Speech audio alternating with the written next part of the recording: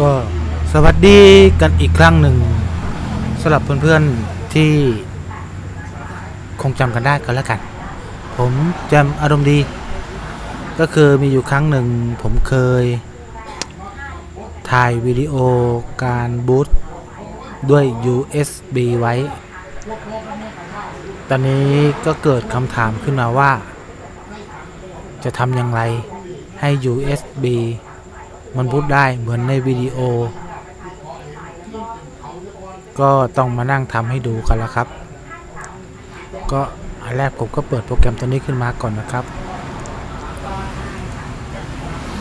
ก็เสียบแฟลชไดรฟ์เข้าไปเลยนะครับ เพราะว่าเราโปรแกรมจะได้มองเห็น ก็ต้องจับหน้าจอกันใหญ่ ๆ หน่อยนะครับ เพราะว่า มันรันกันเต็มหน้าจอเลยนะครับอะตอนนี้โปรแกรมนี้ก็เปิดขึ้นมาแล้วนะครับ ก็ดับเบิลคลิกที่ตัวตรงนี้แหละครับ แต่ผมใช้คลิกขวาแล้วโอเพนนะครับ เพื่อที่จะได้เห็นภาพกันชัดๆ โอ้ทั้งรถทั้งวงเล่าเลยครับวันนี้ ห่างไป 10 กว่าเมตร ก็ยังได้ยินเสียงอยู่นะครับ ชัดเจนพอควร อะ เมื่อหน้านี้ขึ้นมาแล้วนะครับ เดี๋ยวนะ นี่ครับ เราก็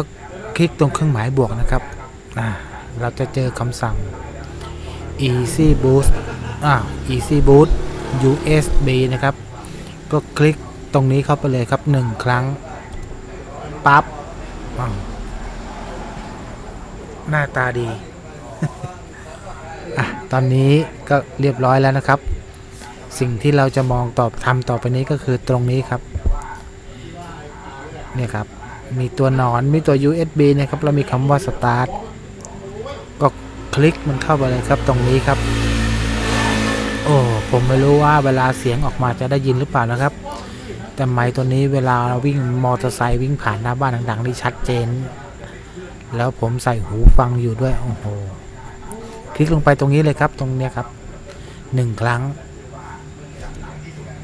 อะตอนนี้โปรแกรมก็จะเริ่มตรวจตรวจเช็ค USB ของเราแล้วนะครับรถรถซิ่งวิ่งผ่าน ก็ปล่อยให้เขาทำงานไปนะครับ ไม่ต้องทำอะไร ตอนนี้บอกว่าอะไรกระช่างที่อยู่ในแผ่นได้ของคุณนะ่ะอาจจะหายไปทั้งหมด ก็กดเยสไปเลยครับอ่าทำงานต่อไปครับ มีทั้งเสียงทีวีเสียงวงเล่านะครับ วงเล่านี่นะจะสัก 10 เมตรได้หรือเปล่า ก็ชัดเจนอยู่นะครับ ไม่ต้องทำอะไรนะครับตอนนี้รออย่างเดียว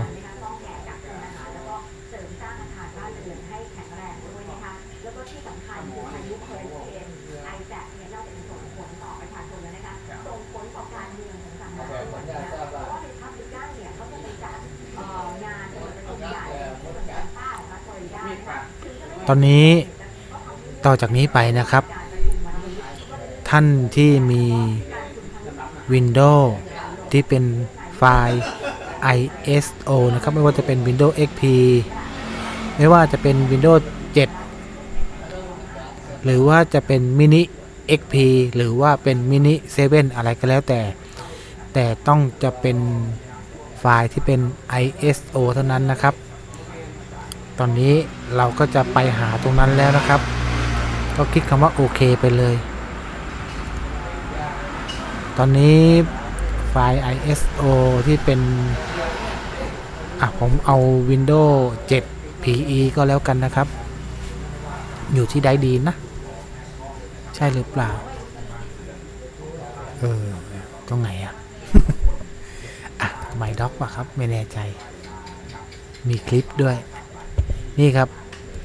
อาวิน 7 PE ตัวนี้นะครับ เพราะว่าส่วนใหญ่ผมจะใช้ตัวนี้ในการบูตเพื่อโกดนะครับ นั่นหมายความว่าถ้าท่านจะลง Windows ผ่าน USB นะครับ ท่านก็จะต้องทำแผ่น Windows ตัวนั้นน่ะ ให้เป็นไฟล์ ISO ซะก่อนด้วยหลากหลายโปรแกรมนะครับ สามารถทำได้ เพื่อถ้าท่านจะลงสดลง Windows XP สด ท่านก็ต้องทำให้เป็นแผ่นที่ท่านจะ setup ให้เป็นไฟล์ ISO เสียก่อน ถ้าท่านจะลง Windows 7 ท่านก็ต้องทำแผ่นนั้น ให้เป็นไฟล์ ISO อยู่ในคอมพิวเตอร์ของท่านเสียก่อนนะครับ แต่ตอนนี้ผมจะใช้ Windows 7 PE หรือว่า Mini PE นี่แหละครับ เพราะว่าผมใช้ในการบูตเพื่อที่จะ ghost บ่อยนะครับ ตอนนี้ผมก็เลือกแผ่นนี้ แล้วก็เลือก Open เข้ามาครับ ก็ ไม่ต้องทำอะไรแล้วครับ ตอนนี้ก็ถือว่าเป็นการ Copy ไฟล์จากในคอมพิวเตอร์ของเราลงสู่แฟลชไดรฟ์ที่เราจะทำให้มันบูตได้นะครับ ก็รอสักครู่หนึ่งนะครับ เป็นครู่ที่ยาวๆเอาเลยก็แล้วกันนะครับ เพราะฉะนั้น ก็ต้องบอกว่านานพอสมควรตรงนี้ โดยเฉพาะถ้าเป็นไฟล์ใหญ่ ๆ ระดับ 4-5 จิกขึ้นไปนี่ ก็ลากกันยาวเลยนะครับ ก็ไม่รู้จะบอกอะไร ที่จริงตัวนี้วิธีนี้ทำไว้นานแล้วนะครับบังเอิญวันหนึ่ง ผมไปเจอแฟลชไดร์เก็บเอาไว้เข้าก็เลย ลองเอามาเทสดู ว่ามันยังบูตได้อยู่หรือเปล่า ปรากฏว่ามันบูตได้ ก็เลยจัดการเอามาลองกับคอมพิวเตอร์ แล้วก็ถ่ายเป็นคลิปวิดีโอไว้ตอนนี้พอเพื่อนๆมาดูวิดีโอแล้วก็เกิด คำถามตามมาว่า แล้วจะทำยังไงให้ USB นั้นนะบูตได้อย่างในวิดีโอที่ถ่าย วันนี้ว่างครับ ก็เลยมานั่งทำให้ดู ก็ลูกทุ่งแล้วครับ ภาษาวิชาการใช้ไม่เป็นนะครับ ภาษาอังกฤษไม่ได้เลย ผมไม่แน่ใจนะครับว่า ตัวนี้เป็นของเว็บ GGG หรือเปล่า น่าจะใช่นะครับ ถ้าไม่ใช่หรือว่า เอ่ยน้ำผิด ก็ต้องบอกว่าขออภัย เอาไว้อย่างสูงก็แล้วกัน เพราะว่าบางทีมันเก็บเอาไว้นานมันก็ไม่รู้นะว่ามาจากไหนตัวไหนบ้าง แต่ส่วนใหญ่ผมก็อยู่ที่เว็บ GGG แล้วครับ แล้วก็อีกบล็อกหนึ่งก็คือที่ผมอยู่ก็คือ อันนี้ก็กดเย็ดไปครับ ก็คือส่วนใหญ่ผมก็ทำบล็อกของผมเองก็พิมพ์คำว่ารู้ทันคอมพิวเตอร์ ก็ถือว่าเจอกันแน่นอนครับที่บล็อกตรงนั้นซึ่งผมให้ความรู้เอาไว้เยอะ แต่ถ้าจะพูดคุยกันหรือตั้งคำถาม ผมว่าไปที่ GGG ดีกว่าครับ เพราะว่าผมก็ไปนั่งโมอยู่แถวๆนั้นนะครับอะตอนนี้ที่จริงก็น่าจะเสร็จเรียบร้อยแล้วนะครับ อันนี้ไม่แน่ใจว่ามันจะเทสได้หรือเปล่านะครับเอาแต่ผมลองเทสให้ดูก็แล้วกันนะครับ เผื่อว่ามันจะขึ้น เพราะว่าแฟลชไดตัวนี้ผมใช้มานาน พอสมควร ส่วนตัวที่บูตได้นะ่ะไม่ได้เอามาสาธิตเพราะเก็บไว้อย่างนั้น แต่ตัวนี้ไม่แน่ใจนะครับ ส่วนใหญ่ผมใช้ตัวของคิงตันนะครับ มันก็สามารถที่จะบูตได้ทุกตัวอะเราลองคลิกเทสดูครับไม่ขึ้นก็ไม่เป็นไรนะครับ คลิกตรงนี้นะครับ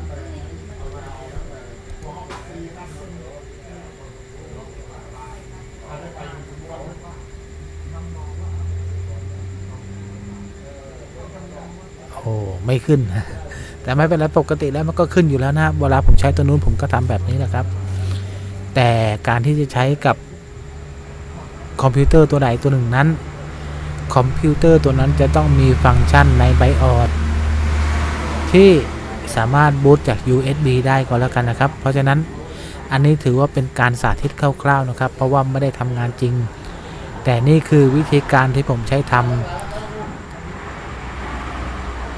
USB boot อย่างที่เคยถ่ายถ่ายให้ดูแล้วครับ ก็ทำแค่นี้นะครับ ก็ไม่มีอะไรมากไปกว่านี้ เพราะฉะนั้นจริง ๆ แล้วเวลาทำเนี่ย ผมอยากให้ทุกท่านลองลองปิดแอนตี้ไวรัสทั้งหมดเสียก่อนก็ได้นะครับ มันจะได้ไม่กวน แล้วก็ไอ้ flash drive ที่ใช้อยู่เนี่ย ถ้าไม่จำเป็นก็อย่าเอาไปเสียบกับคอมพิวเตอร์ที่ run Windows ไว้ เพราะบางทีมันอาจจะไปลบ ทุกๆอย่างบางตัวออกหมดทำให้ flash drive ตัวนั้นบูตไม่ได้ คือตัวนั้นน่ะผมจะไม่ได้ใช้ในการทำงานบน Windows เลย เวลา restart ก็สั่งให้บูตจาก flash drive แล้วก็เสียบ restart เข้าหน้า Windows Mini PE ไปเลย แต่บน Windows นี่ผมไม่ได้เสียบเด็ดขาด เพราะว่าเดี๋ยวแอนตี้ไวรัสบางตัวจะไปลบสคริปต์บางตัวที่อาจจะสงสัยว่าเป็นไวรัส จะทำให้แฟลชไดร์ตัวนั้นบูตไม่ขึ้นอีกต่อไปครับ ก็ต้องมานั่งทำกันใหม่ ก็คงมีเท่านี้นะครับสำหรับแนวทางในการทำแฟลชไดร์บูตจาก USB ก็ผมแจ่มอารมณ์ดีวันนี้ก็สวัสดีครับ